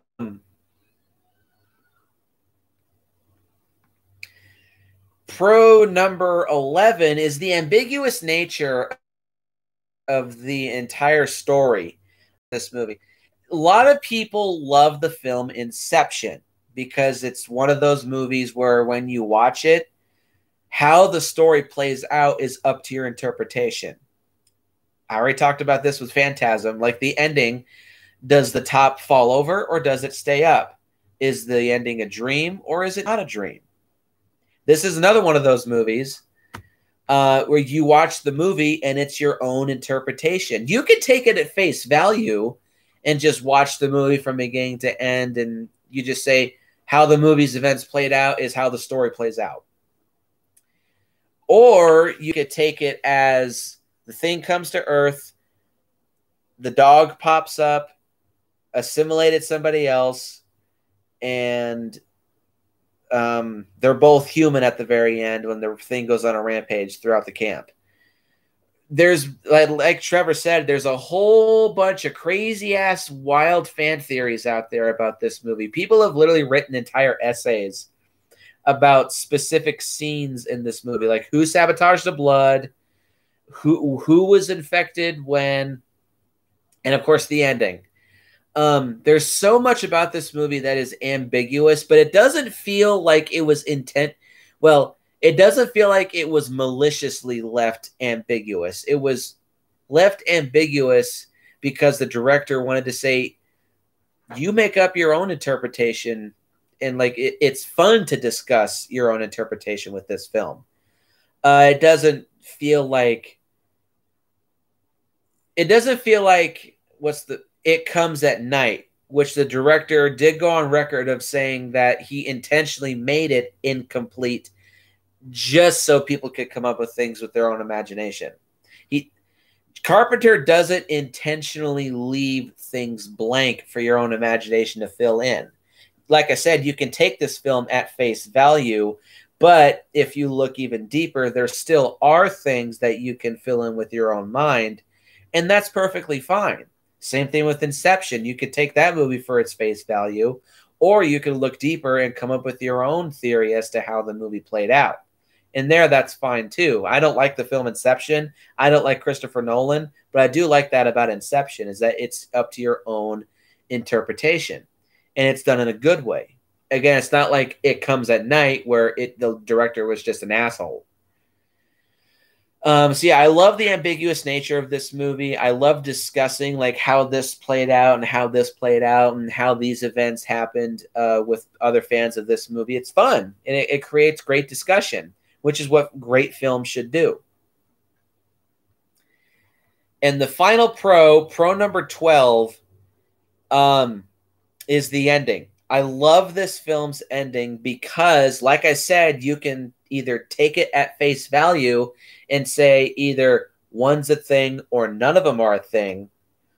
Or, like I said, you can make up with your own interpretation. You can come up with your own explanation, which many people have done, including Trev and I in just a moment. So, I love this film's ending. Absolutely. I think it's one of the greatest endings in absolute horror film history of all time. Love it. Before we get to that, though, have any cons? No, I do not. There is a minor nitpick, but it has something to do with the questions we're going to go over, so I'm going to save it. I have really no major cons for this movie. I love it. I got none either. Um, I think this is a a a perfect film in every sense of the word. I do have a couple nitpicks. I will say, like, what the fuck are these guys doing down here? Are they doing some kind of project or are they living down here? Um, God damn, that's the third time you've scared the shit out of me. Are you almost done? Yeah. Uh, actually, no. That's really the only nitpick that I have now. To think about it is like, what the fuck? Um, what the fuck are these guys doing down here? Um. So yeah, I was inspired. I'm gonna jump into this right now. One reason why I'm doing this review now is because I was inspired by Josh over at Movie Timelines. He did a video a couple weeks ago called 13 Unanswered Questions about John Carpenter's The Thing. I watched that video. I've watched it 10 times since it's come out. It's one of my favorite videos that come out on YouTube in the last few weeks. I love it. And that's what directly inspired me to do this review. I am not going to try to come off like I'm just ripping him off and copying his shtick, but there were some questions that I also want to give my own interpretation on in this video. Trev does as well. I shared him that video and he watched it. So he has 13 questions. I have five questions that I want to answer. Or no, excuse me. I have one, two. I have seven questions. Excuse me. Seven questions that I want to answer. Hmm. Question number one Whose shadow is that at the very beginning? When the dog thing goes to infect that one person, who is it? in actuality, it was really nobody in the movie because they had a unseen crew member come in to play the shadow to give a sense of ambiguity. Now, it was apparently supposed to originally be Palmer, but they thought that his shadow would be a little too distinctive. So my answer is I believe it is Norris because the guy looks a little thick in the chest and his hair looks a little more wild than Childs or not Childs. Um, like some people try to say that it was Childs, but the Shadow had hair. Childs ain't got hair. Um, then Palmer, excuse me, but I think I do think it was Norris, and I think aside from the dog thing, Norris is the only um thing to be active for quite a while in the film. What about you, Trev? Yes, I agree. I've heard for years that people debate whether it's uh, Palmer or Norris, it's usually those two. I don't really get the Childs thing because, no offense, that shadow doesn't look like a black man. I'm sorry, but Well, um, It has hair. yeah, hair. Uh, the profile just always reminded me of Norris, and also you can tell that the individual is wearing a sweater, Uh huh. and Norris wears a sweater, a blue sweater. It's actually, I think it's uh, the same kind of sweater that uh, Pamela Voorhees wears in uh, Friday the Thirteenth. It is. Now that I think about it, yeah, it, it's just very obvious to me that the shadow is Norris's, and also, uh, like Nick just said, it, it's clear if you're really paying attention that uh, Norris is a thing for a good portion of the movie because there's uh, certain times where his behavior is a bit suspicious. The one, the one that uh, sticks out to me is uh, whenever they find out what happened to the blood, and there's this distrust going on whether it was Copper or Garry who had something to do with it, since they have access to the keys that can access the blood. Um, and anyway, Garry steps down eventually, and he offers up the leading position to Norris, and Norris says, "I'm sorry, guys, I'm not up to it." Yeah, and the look on his face is like he, it just goes normal. That goes Norris. I can't see any, anybody objecting to you. I'm sorry, fellows. I'm just not up to it. It comes off not nearly as much somebody who's just handed power and they're turning it down because they don't know what to do with it. It's come. It comes off as somebody who doesn't know how to handle power, if that makes any sense at all.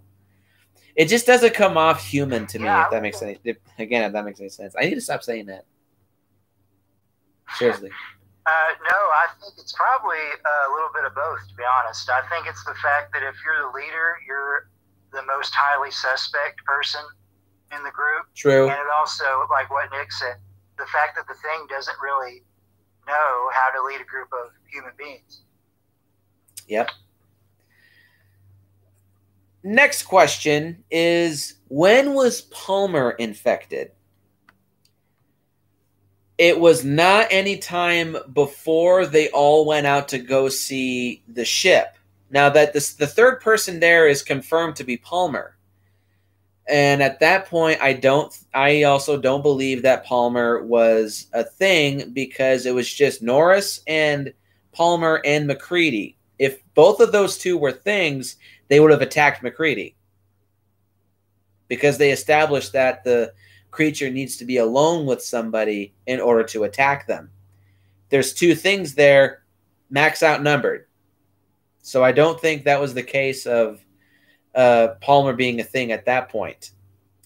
I believe that the thing or that Palmer do did become a thing either when Bennings was assimilated or sometime during the blackout. That's just my own take on it. I actually more lean towards the blackout because I feel like that's just the most convenient and perfect opportunity for the monster to go on a, a rampage. So that's my own take on it. How about you, Trev? Yeah, uh, I always used to think it was sometime during the blackout, and it probably still was. But uh, Josh also brought up in his video that it's possible that it happened before then. Uh, what was the point again that he said? Um, he just said it. like that was the perfect opportunity because Bennings was being assimilated by the Hellraiser thing. So that was a perfect Yeah. distraction for Norris to act because Norris is not seen until after the Bennings thing is is torched. Yes, exactly. So I'm actually okay with either one of those uh, options. I've always leaned towards the blackout uh, time period, and that's also. Uh, well, hold on. I think that's one of your questions, so I'll just save it. Yeah, the next question is when was Blair infected? I also believe that was when uh, Blair was infected was during the blackout. Now, more specifically, now I also think that's how Fuchs died because Fuchs saw one of the things go off to try to infect Blair, and because there was a storm going on, it got lost a little ways, and Blair or not Blair, uh, Fuchs either was trying to burn it or it got to him and he burned himself before he could be fully assimilated. When they discover Blair eating the food and having the noose tied next to him, I believe that at this point Blair is a thing. He's a fresh thing. The reason why he's eating is because he's trying to get himself some sustenance because he had just transformed. Um, he has the coat on because he's trying to get warm. He's saying, I want to come back inside because he's brand new. He wants to get information from the other two things, or one, I think, at this case, um, to try to figure out a plan. And also, this jumped out to me last night. Um, when MacReady says, Have you seen Fuchs? Blair says, It ain't Fuchs. And they goes, It ain't Fuchs. I believe that was the Blair thing tripping over his own words, and he, because he was newly transformed, and that was uh, another sign of him showing that he's a thing at this point. And also him saying, "I want to come back inside. I want to come back inside." That's just him just trying to come back inside and not be isolated. Which was the opposite of what he was trying to do anyway. Yeah. So, yeah. Uh, also, there's one point along these lines.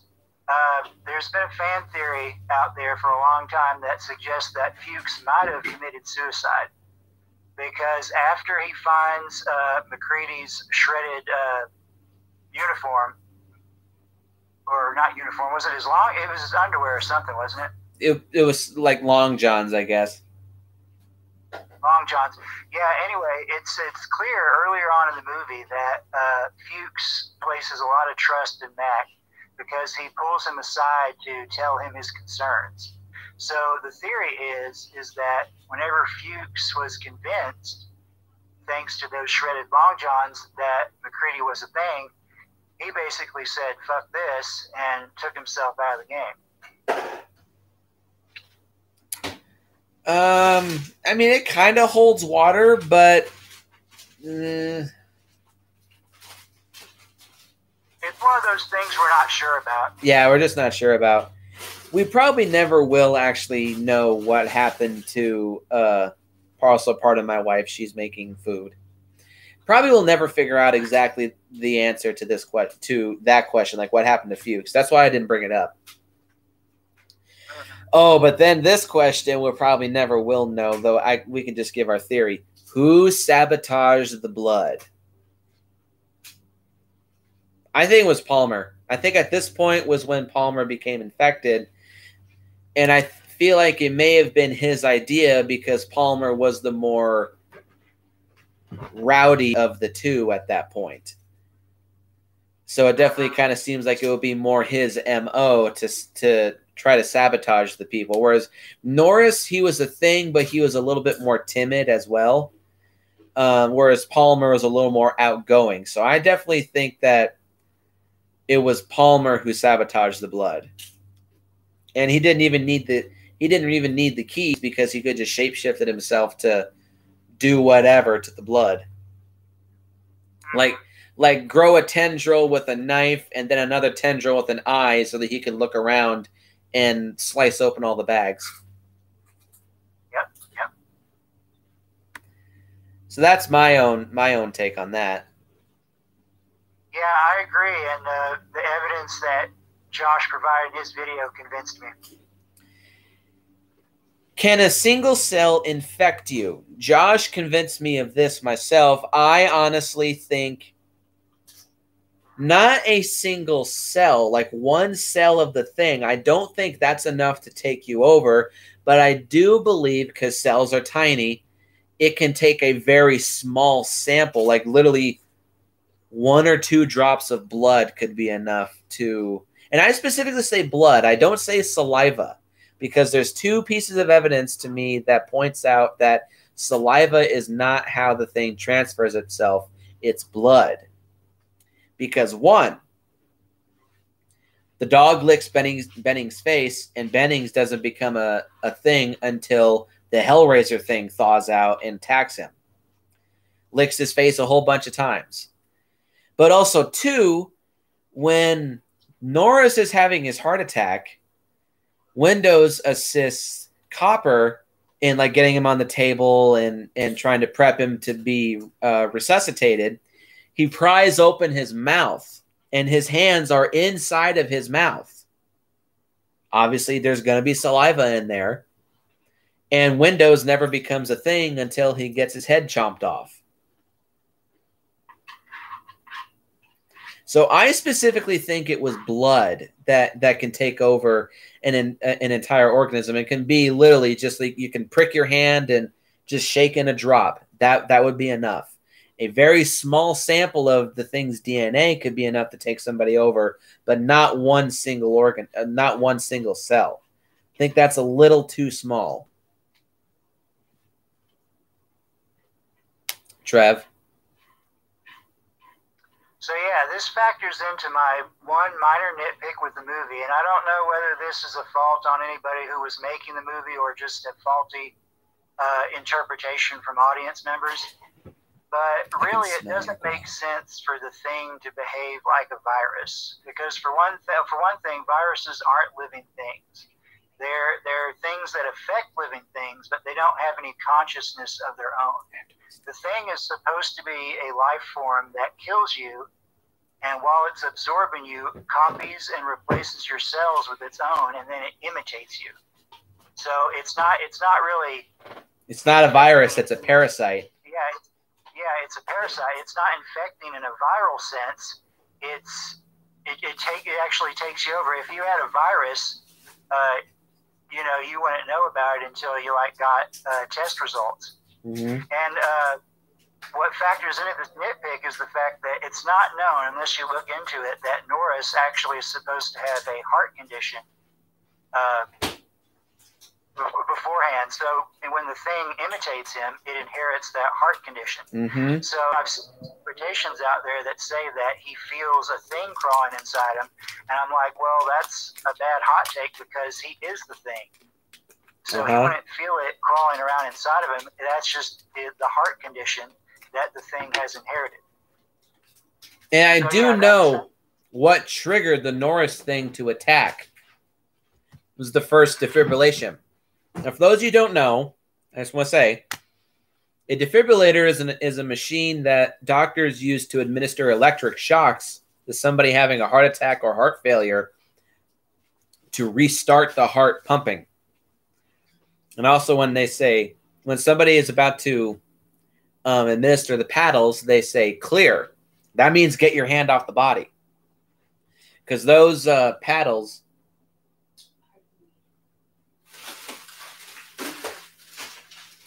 those paddles administer electric shocks strong enough, like 500 volts or so. That's still enough to literally knock you on your ass, and it's going to hurt.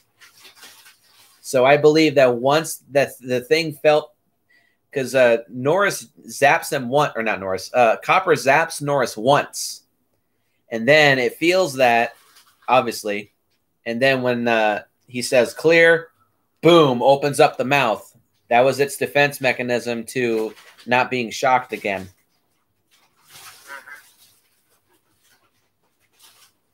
Um, next question. This one's a little humorous. Where are Copper's pants? When the when MacReady discovers, or not MacReady, when when Clark and MacReady discover the dog thing, an alarm is triggered, and Doc Copper comes out wearing shirt, shoes, and socks, but no pants. Why? Josh had no answer for it. I don't know if Trevor has an answer for it, but I have a potential answer that's a little humorous. I think Copper was getting blown.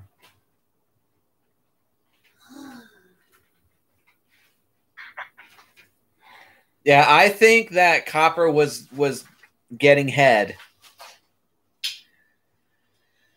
Um, because this is my own interpretation of this. Copper comes off as a little gay.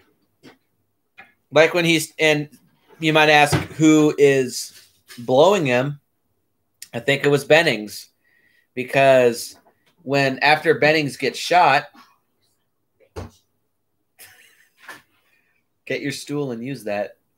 Too short even with my stool. I still can't reach shit. Ugh. Uh, when after Bennings gets shot, just the way that Copper's talking to him. Oh, come on. It's four stitches, barely grazed you. It just comes off really gay. Like there's something between those two. That's just my own take. And okay, I have what? No, and I never really thought about it until uh, this video pointed out, and then Nick uh, provided his theory. But and I don't think this really has anything to do with it. But he also does have a nose ring too. So That too. Yeah. Which is a little odd, especially for 1982, where facial piercings on men wasn't really a common widespread thing. Whatever. he's an older man too. Yeah, that's even stranger. So, the final question this is the obvious one Who is who at the very end? Now, I always just went along with the crowd and I said MacReady is a human, Childs is a thing. I do think now that is bullshit, and I do believe that both MacReady and Childs are human at the very end. To me, there's five pieces of evidence to suggest this. And in my eyes, they prove it. One, Childs is completely clothed and also has a flamethrower. If it was a thing, I highly doubt that it would be going around camp trying to find a perfect set of clothes and a perfectly operational flamethrower just to disguise itself as Childs. And also, MacReady's all by himself. Why didn't the Childs just attack him right then and there? Two, if you take into account, and you should, because technically the thing 2011 is is canon to this film. Child still has an earring. Three, the Dark Horse Comics sequel, The Thing from Another World, as it's called. That does confirm that Child survived and was a human at first. Later in the comics, he did become a thing, but at the beginning of that comic series, he is still human. For the Thing video game, which also is canon. Childs was discovered by the main characters of the video game, uh, and he was a human, and he died due to the due to the cold. And five, Carpenter said that the ending is obvious. Mac is a human and Childs is a thing because Childs doesn't breathe. Bullshit. Because A, Bennings was a thing, and when he was screeching, you can see his breath. But also, two, if you look carefully, it is a trick of the light because MacReady is front lit because of the flames. You can clearly see his breath. And Carpenter was saying, uh, or no, Mc- Childs is backlit, so you can't see his breath, quote unquote. Yes, you can. You can see Child's breath on a couple of occasions while he's speaking. So, as far as I'm concerned, both Childs and MacReady are humans at the very end. Not to mention what Sean just said Kurt Russell and Keith David are far too cool and badass to get infected.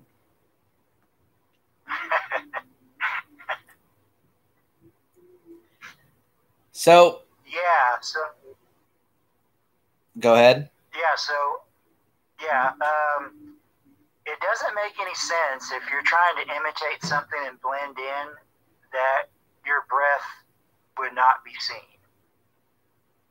Because if you're imitating an organism that Has working lungs, you would imitate that. yeah, has yeah, you're, you're gonna you're gonna breathe like they do. Also, uh, yeah, pretty much. I've always I've never really entertained the thought that one of them was a thing. I just thought that they were both still human and that they were probably just gonna die there. Uh, but there is one interesting fan theory, completely pulled out of their ass, but still interesting, that uh, MacReady actually has gasoline in his uh, bottle I heard about that. and Yeah, and the reason why uh, Mac is kind of uh, laughing a little bit is because whenever a child takes a drink, he has no reaction to it, which means that he's not human because he's not reacting to the gasoline in the bottle. First of all, there's no evidence to suggest that uh, Mac put any gasoline in his alcohol bottle. So, you know, that, again, that's something that just sounds like it was pulled out of somebody's ass. It's Mhm. interesting, but there's no evidence to support it. Now, also, not to mention, they did use Molotov cocktails earlier in the film. They were all unlabeled wine bottles. Whereas the bottle that they passed at the end of the movie, it was clearly a scotch bottle. You could see the sticker on it. And also, too, Mhm. like imitating a healthy pair of lungs, you would also uh, imitate a human body's reaction to ingesting gasoline. You know what happens to you when you ingest gasoline? You suffer near instantaneous liver and kidney failure. It's like drinking uh, antifreeze. So really, really like the viral infection thing. That just seems like the audience not really completely understanding the premise of the movie or the details given. Yep. That's all I have. That's all I have to say. That's all I have to say about the questions, the ending, and this movie. So let's go into our final thoughts and rating. God damn, is this a great film? Again, I don't like John Carpenter. I don't think he's that good of a film director, but damn, did he pull this movie off. And I will give him all the credit in the world. He gave me my all time favorite horror film, and he also gave me one of my all time favorite films in general, which is why I will, of course, be giving this movie a perfect solid gold 10 out of 10. I cannot recommend this film enough. If you love 80s horror movies, you will dig the shit out of this film.